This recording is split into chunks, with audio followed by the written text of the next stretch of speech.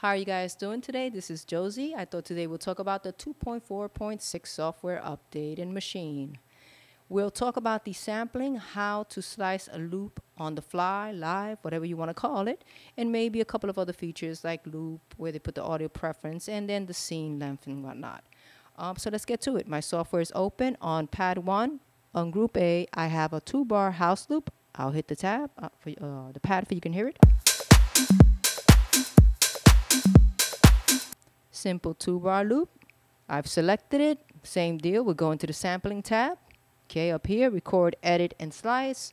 We'll hit the slice button, which is the third button up top. Okay, and now I'm going to hit the pad, and as soon as it starts to play, I'm going to hit the other, every other pad where I want a slice to go. Okay, now let's listen to them.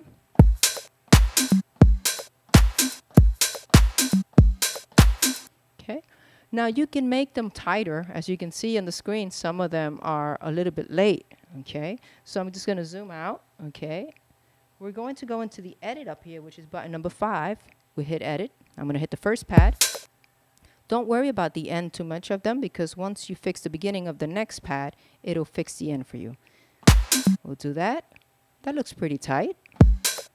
I could get closer to that. The cool thing about this is if you're a finger drummer, and you're wanting to learn how to do stuff, this actually tells you whether or not you're hitting late or early.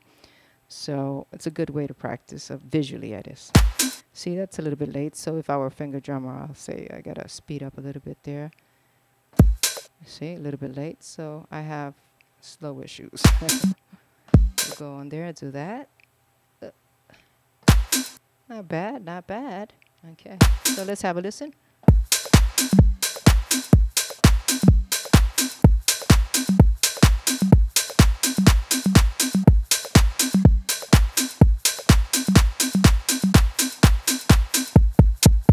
Pretty cool if you ask me. So now once we're done, by the way, if you wanted to remove any slice, you can hit that pad and remove it up here.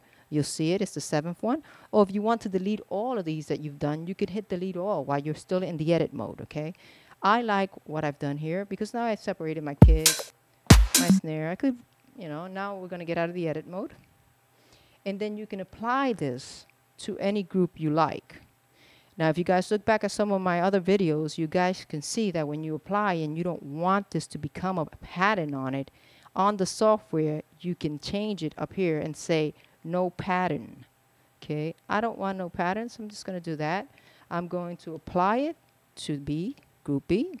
I select it, and now I'm going to hit apply. It's thinking, it's done. It's still thinking of a master plan. Okay, so now let me see.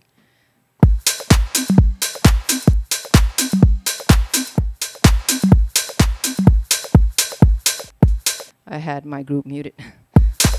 so we're cool. Pretty much that's the way that it works. So there you have it, guys. It's that simple. A pretty cool update. Cut on, uh, I mean, slice your sample on the fly. Couldn't be, couldn't get better right now. So now let's go back to uh, the software and let's take a look at it. Now they have this new loop feature up here that's part of the transport. I think it's fantastic. You can extend your loop, shorten your loop, move your loop around, and later on in another tutorial, I'll show you guys the shortcuts to use on your controller to actually change the length of that loop, which is great. Another thing that they did that was fantastic before when you had scenes, the length of your scenes went along with whatever your pattern length was.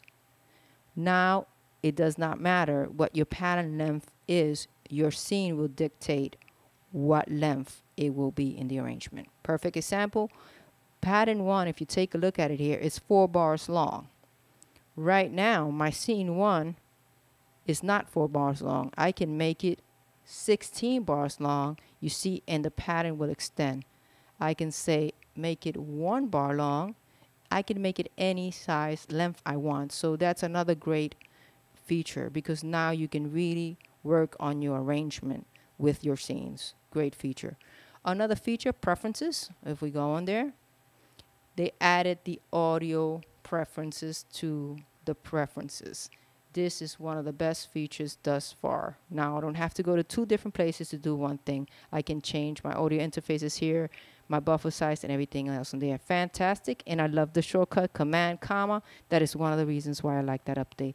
As always, this is Josie. Please follow me on Instagram, Pretty Hybrid, prettyhybrid.club, learnaudiowordpress.com, Twitter, Josie Carr. And as always, much love and respect. One.